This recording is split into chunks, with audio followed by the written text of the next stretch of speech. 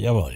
Today I'm going to show you the new Kubus model from Cobi. This model is based on the real Kubus, which was built by the Polish resistance in 1944 and used during the 63 day long Warsaw Uprising.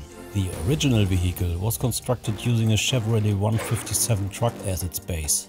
The original Kubus could be accessed from underneath. The Otto motor column emblem is visible on the bumper. The top hatch can be opened to place a figure inside, where you will also find the DP-28 machine gun. The set includes two authentic minifigures and other accessories. I'll be sharing more details as I build this model and see also some interesting comparisons.